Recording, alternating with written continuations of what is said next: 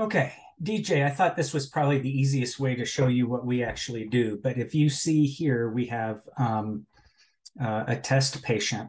Uh, we are not able to set up um, delegate authority under the providers and have us have our own uh, ability to order tests, labs, and have our own schedule template. So the way that we have set it up is as follows. So when you go in, whether it's in your note or in an order group, um, let's say that uh, I want to put in naloxone, for instance, for a patient, I'll under either the uh, A&P portion or under an order group, I'll bring the, the uh, diagnosis over.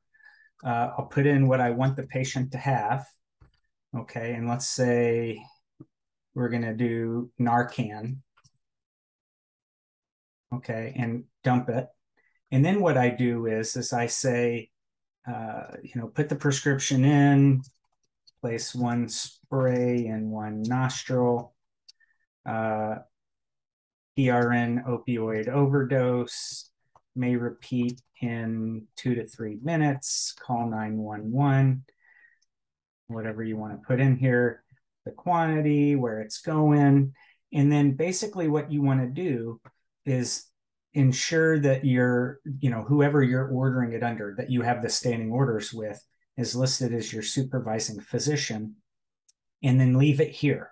Don't do anything, don't sign it. Okay. And then what you want to do is come over to the find prescription, new, and then here's your new Narcan spray that we just put in. Okay. If you will click on that, you are able to change the prescriber from you to your supervising prescriber. So mine here would be Ann Nash.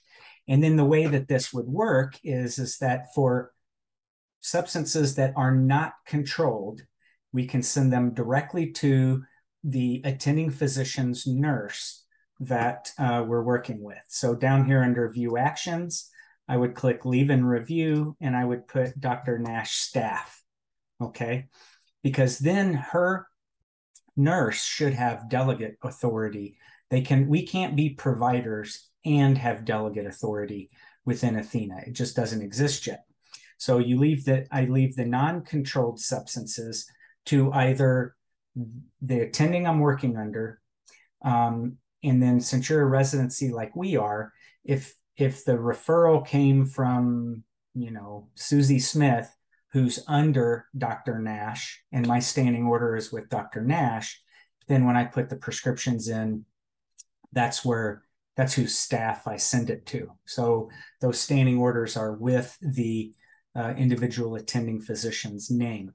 Now, if it's a controlled substance, Lyrica, benzodiazepines, whatever, Ambien, then instead of leaving in review to the staff, you need to leave it in review directly to the physician because then uh, he or she has to put in their uh, token uh, code in order to have it sent uh, as a controlled substance through Surescripts. So once that's done, it leaves.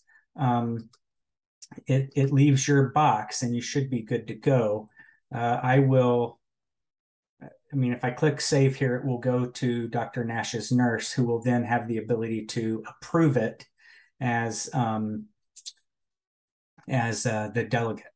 You know, it it's been a source of contention uh, because you know we can uh, technically uh, approve it on our end. The problem is is that then it's your signature and your name at the bottom of the prescription, and based on the current Illinois Practice Act, we can't prescribe. We can only initiate, modified, or discontinue.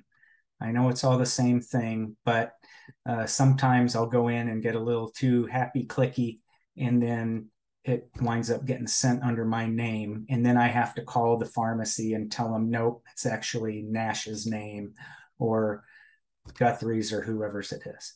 So i hope this helps. Um, if you have any questions feel free to give me a call though okay? Hope you're having a good day. Bye